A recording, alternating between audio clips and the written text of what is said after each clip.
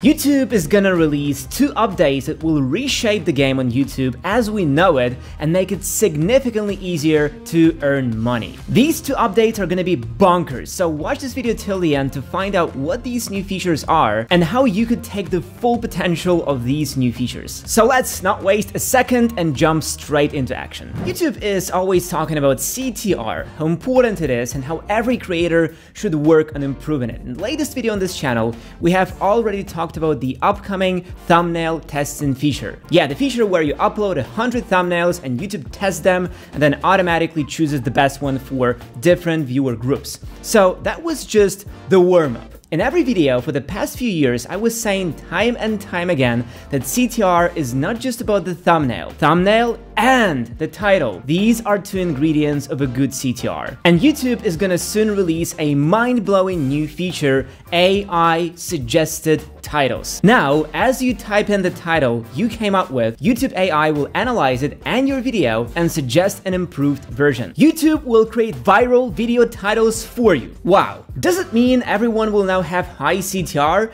Everyone would just upload 100 thumbnails, write an idea for the title, and let the AI do the thing? Well, not quite. I think the nature of this feature is wildly misunderstood. I have a theory that not only Mr. Beast is working for YouTube, boosting all the initiatives and ideas, but vidIQ is also YouTube's project. Hear me out, just think about it. It would have been good for YouTube to have some sort of a third-party software where you could test different new features to just later implement them on YouTube. Sounds quite reasonable, right? And vidIQ has been testing the feature that does exactly what YouTube wants to implement, AI-generated titles. We have tested it and even tried using it. You just enter the title for a video, click go, and get an AI-generated title, description, keywords, a short script idea, a thumbnail template, and so on. But after testing, we found out that the AI doesn't quite get the gist of titles, and that AI-generated titles work a bit differently from man-made ones. It doesn't mean they're bad, no no no,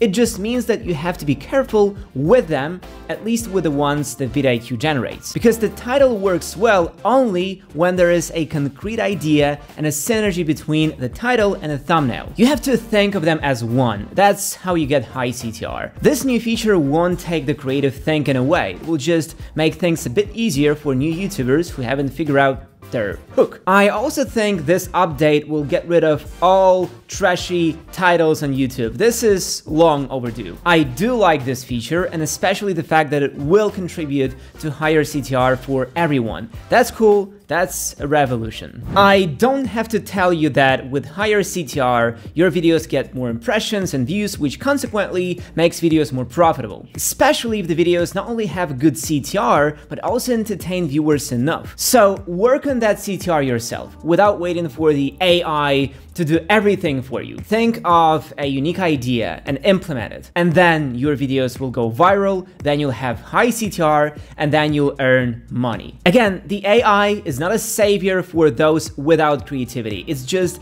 a helping hand to point some of you in the right direction. But don't forget that CTR is only one part of what makes good videos and contributes to their good performance. Another thing that you should never forget about is retention. And the easiest way to boost your retention is with editing. But not all editing tricks are created equal, some are better and some are worse. We have recently made a video where we went over a few video editing tricks that help improve retention, so be sure to check it out. Yet even with all the tricks, the one thing is certain, editing is best to be done in Movavi Video Editor, which is a part of Movavi Unlimited package. Movavi Unlimited is an all-in-one solution that's got everything you need. If you've been struggling with large large, unwieldy footage on your phone, Movavi has you covered. With its easy-to-use tools, you can effortlessly convert your footage into a more manageable format and even enhance its quality by up to 8 times. Movavi Unlimited also includes a powerful photo editor that lets you get creative with video thumbnails. You can crop, resize, apply filters, and add text, stickers, and frames to your images, creating stunning visuals that will captivate your audience. So if you are tired of struggles that come with video editing and you're looking for effortless and impressive results, I highly recommend giving Movavi Unlimited a try. And now get ready to have your mind blown, folks. Movavi's got a deal that's that's too good to pass up. An 80% discount on all the apps and an amazing Movavi Unlimited plan. That's right, you heard me, 80% off, so don't wait, hit the link, and get yourself the ultimate video editing and production experience at a price you won't believe. Trust me, this is one offer you don't want to miss. Now let's move on to the second upcoming feature, and this one is strange and controversial. Hyperlinked keywords. This one is being tested right now on random channels, but tell me, do you write comments? How often do you leave comments? Leave a comment with your answer. okay, the idea is as follows. Often people spend a lot of time in the comments, like really long time.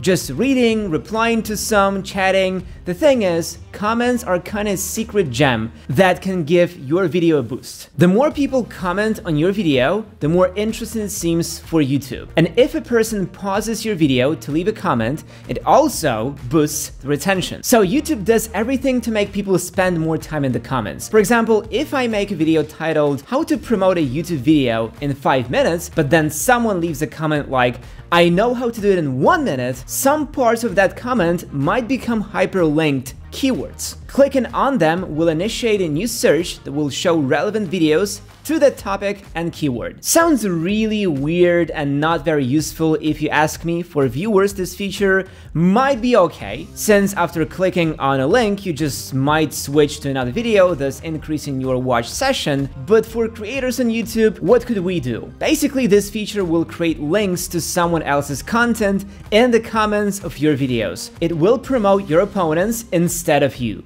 How do you like that? Luckily, on the channels where YouTube is testing this feature, authors can hide some of these hyperlinks or disable the hyperlinking entirely. But there is a good thing in this feature. While people will click on hyperlinks and browse the newly created search results, your video will stay active and playing. This way, people will have to later rewatch parts of your video, which will undoubtedly positively impact the retention. Yet I still think that this feature, if it's ever gonna be implemented, will tank the watch sessions on channels, but improve watch sessions on the platform. To us, the creators, this isn't a good feature, but for YouTube as a platform, it is. And I hope that we will have the option to disable this feature for our comments, because if not, we're screwed. So as you see, YouTube is doing something. It's working and changing. Sometimes it brings benefits for creators and sometimes for viewers. Let's just hope that these new features won't kill channels, but make them bigger, stronger, and more profitable. And I hope you enjoyed watching this video and it was useful to you. Leave a comment and subscribe to the channel. Also like the video. Thank you for watching guys and see you in the next one.